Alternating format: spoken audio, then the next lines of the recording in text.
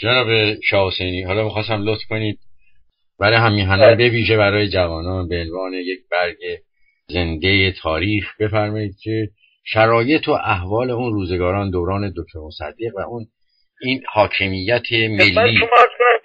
در زمان شاهروان دکتر مصدق حتی دکتر مصدق شخصیتی بود که اعلان کرد اگر کسانی به من و خانواده من تهمت زدن افترا زدن. حق ندارید حتی اونها رو به محاکمه بکشید و تنبیه و تفتیش بکن. به هیچ وجه من مجسمه من اصلا درست نکنید به هیچ وجه من الوجود فرزندانش از کارهای دولتی کشید بیرون. برسگی به هیچ وجه موجود نباشه. آمد سریح سریع قاطع حتی تحلیل در تمام شخصیت های گذشته تاریخ در مملکت خدمت کرده بودن از آنها تجلیل و تدریس کرد. به اونهایی که ظلم و تعدی شده بود جبران ظلم و تعدیشون کرد. به هر شکل به هر نحوی. قوانین رو که در مملکت عبور بهترین قانون در مورد کار کشاورزان آمد.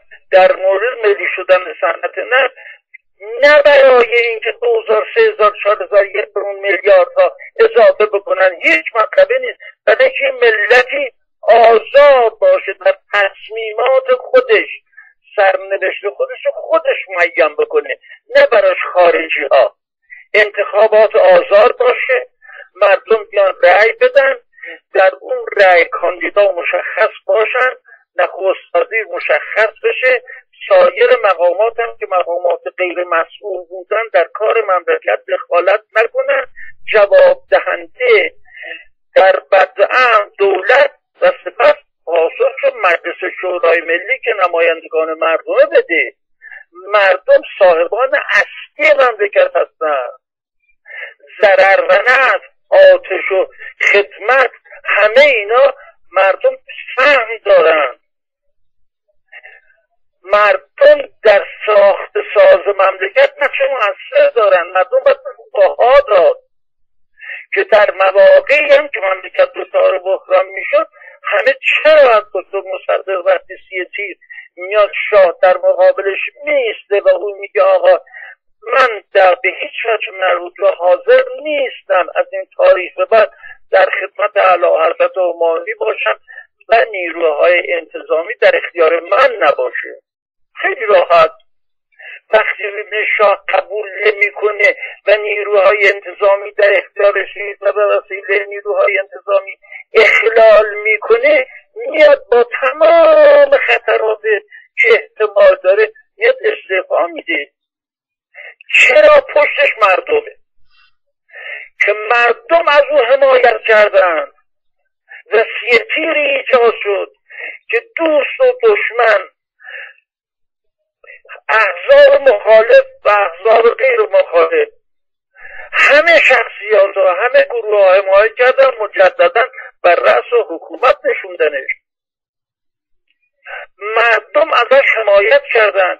حاکمیت هایی که مردم ازشون حمایت می‌کنن می‌توانند جلوی سیاست های خارجی پیستند دکتر مصدق مردم با سرنیزه نمی آمدن ازش حمایت بکنن. با پست و مقام و مقام ها باش نمی آمدن حمایت بکنن. شخصیت های سیاسی هم داری می‌کردن که عموم اونا بعد از اینکه دکتر مصدق در اثر کودتای آمریکا و انگلیسی روز متوقف شد هیچ کدام اونها سابقه کسافتی از دزدی ارتشا زد و بند حق زدن دروغ گفتن تصویر بریا درشون نبود. و در نتیجه حکومت دکتر مصدق بقا دوام پیدا کرد و اندیشه های دکتر مصدق اندیشه های دکتر مصدق. مردم به جسمیت دکتر مصدق کاری ندارن. این اندیشه و بله. سیاست موازن منفی رو میده.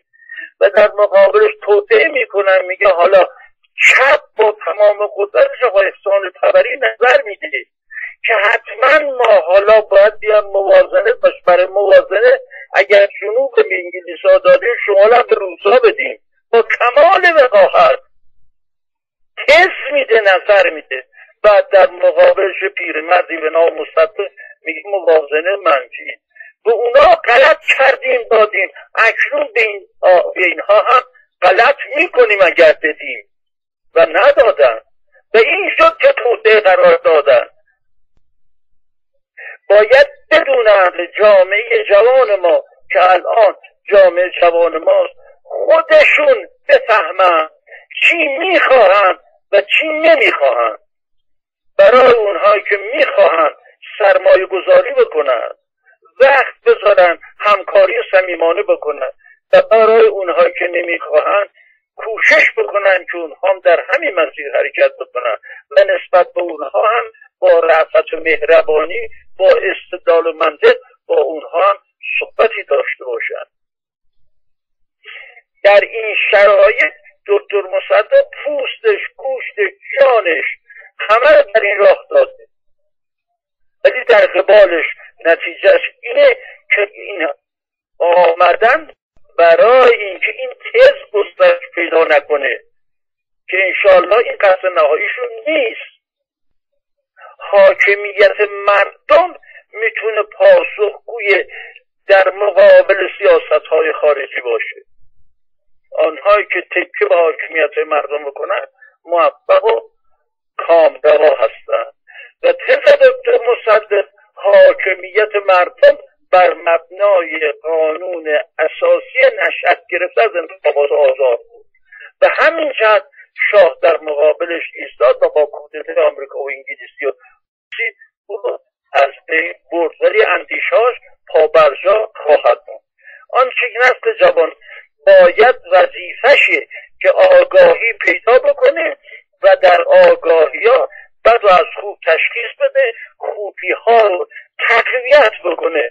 با بدی ها رو چون بدی ها باز از ناحیه خود مردم آگاهی بده.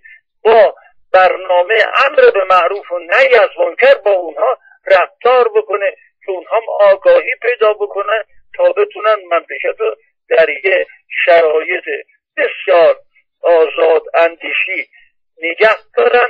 و در مقابل عوامل خارجی و ایادی خارجی و سیاست های خارجی که در برای منافع خودشون اقدام می‌کنن منافع کشورهای دیگر رو از بین ببرن با اونها بتونن در مقابل بیستن و مقاومت بکنن و از مملکتشون از آب و از آب و خاک مملکتشون و اهدافشون و از مذهبشون دفاع کنن. اون چی که می‌تونم به جوانان امروز که روزی یقینا مثل من جز پیرمردان امروز خواهند شد نصیحت کرده باشم موفق و معید باشم در شما جناب شاه حسینی. فقط می‌خواستن در مورد یکی دو مورد که خیلی به نظر میاد بیشتر از همه این روزها در کل این جهان و به ویژه حتی در ایران و جهان خیلی باید مورد توجه قرار بگیره. دو ویژگی استقلال طلبی و عدالت و بعد هم این آزادی خواهی بله. شرط اصلا. اصلا ما استقلال می‌خوایم داشته باشیم که عدالت پیاده بکنیم. عدالت اگر نباشه فساد آنچنان مملکت خواهد گرفت که دوام و بقای مملکت در قالب فساد نیست. فساد موقعی زیاد میشه که اخلاق در جامعه نزول پیدا کرده باشه. حاکمیت اجرای قانون کامل نکرده باشه. اگر حاکمیت ها اجرای قانون بکنه و فقط به قانون متوسل بشه و قانونی که منبعث از فکر مردم از عقیده مردم و غالب قانونی که منتخبین مردم اظهار نظر کردن که خود منتخبین هم در شرایطی باشه که صادق و عادل خوشگفتار و خوشرفتار و معتقد و علاوه بر با ایمان واقعی باشند و معتقد به اصول اهداف ملیتی ایران و مذهب مردم ایران باشند و برای جامعهشون فکر بکنن نه برای منافع شخصی خودشون. این فکر اگر گسترش پیدا کرد شامل رو به خوش فحاشی میره. وگرنه نه جامعه ای که درش فساد بیبندباری دزدی ارتشا بیاعتقادی دروغ تزریق رشوه باشه این جامعه یقینا دچار بحران خواهد شد. امیدواریم در جامعه با توجهی که محتمل آیان داشته باشند این نکات حساس و توجه داشته باشند دکتر مصدق به دلیل صداقتش درستیش در رفتارش و اندیشاش در قبال سیاست های خارجی توانست الان در حدود از کودتای 28 مرداد سال 32 تا الان که در حدود 93 اگر حساب بکنیم در حدود 60 سال میشه با تمام مخالفت هایی که با او و اندیشه او شد این عشق این فکر این اندیشه در جوامع بشری جا انداخته. این نیست که در ایران انداخته باشه. هنوز در جوامع بشری به خاطر که عدالت شرط اصلیش بوده. دوستی و رفاقت نبوده. همنشینی و مجالست نبوده. به دلیل که نزدیکترین دوستانش در کابینه بوده مورد اعتراض قرار می‌داده بسیار زیاد مسائل پیش اومده در انتخابات خیلی چرا اصلا انتخابات دوره 18 ها کامل انجام نشد؟ دکتر مصدقی که زندگیش بر مبنای قانون و قانونمندی بوده چرا؟ به دلیل که عوامل شاه در ارتباط با نیروی انتظامی مردم آوردن وادار کردن رأی بدن به کسانی که از ناحیه مردم انتخاب نمیشن بلکه با پول و تزدیر می‌خوان نمایندگانی بیارن در مجلس از اون بهره برن. احساس کرد از اینجا مجلس رو می‌خواست که مجلسی باشن نمایندگان مردم با انتخابات صحیح نه با انتخابات فرمایشی با انتخابات صحیح. نمی‌خواست که اگر اعلی حضرت همایونی دستور می‌دادن از شمال ایران آقای ایکس انتخاب بشه فی‌الفور انتخاب می‌شد. این فی‌الفور نه زمینه اجتماعی داشت نه زمینه فکری فقط ارتباط با خانواده پهلوی. و در نتیجه امیال آرزای خانواده پهلوی رو پیاده می‌کنه. وکیلی که منتخب مردم بود امیال آرزوهای مردم و جامعه که بهش رأی دادن پیاده می‌کنه و در نتیجه جامعه رو به رشده چون می‌دونه که وقتی با مردم رأی دادن مردم ازش مطالبه می‌کنن. ما رأی دادیم به شما چه کردیم؟ در یه جامعه وقتی دزدی پیدا نمیشه چون مورد سوال قرار می‌گیرن. و باید جواب بدن. از این جهت باید کوشش کنیم. انشالله اون مطالبی رو که در قانون اساسی اون حقوقی که در قانون اساسی برای ما مشخص شده که اونها جنبه واقعی حفظ منافع ما رو داره اینا رو ما بهش احترام بذاریم عمل بکنیم و کوشش بکنیم خودمون سالم باشیم تا جامعهمون هم سالم باشه. و بررسی بکنیم عرض کردم چی می‌خواهیم و چی نمی‌خواهیم و برای اینا فکر بکنیم و با این اندیشه زندگی کنیم شما جناب شاسینی این اندیشه جایگاهش در آینده با تمام ارزشاش خیلی آشکارتر مطرح خواهد شد کما اینکه در زمان خود مصدقم بود و امروز هم در بسیاری از کشورهای جهان و ویژه در آمریکای جنوبی به روشنی می‌تونیم ببینیم این حرکت ها و این اندیشه جایگاهش کجاست. و می‌تونیم ببینیم که این اندیشه چقدر در حرکت جناب حسینی از شما به عنوان نمادی ما جامعه سالم و زنده و جامعه پویایی داشتیم. دور از تصویر و ریا دور از بیاعتقادی دور از رشوه و سازمان های خیر مردمی داشته باشیم.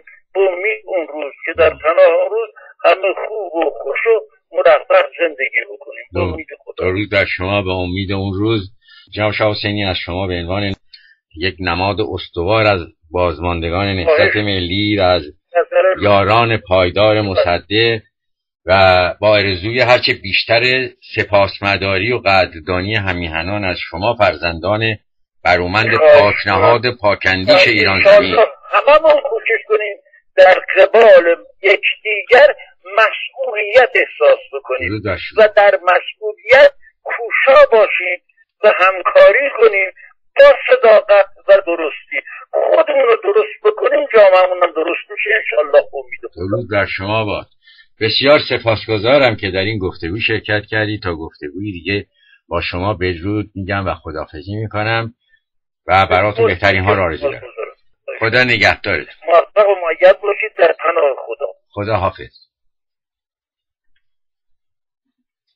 شنوندگان عزیز به گفتگوی ما با آقای حسین شاه حسینی در تهران درباره آنچه امسال برای برگزاری مراسم بزرگ داشته سالروز تولد دکتر محمد مصدق رهبر نهضت ملی ایران و این انسان مستقل و آزاده و عدالتجو چه گذشت؟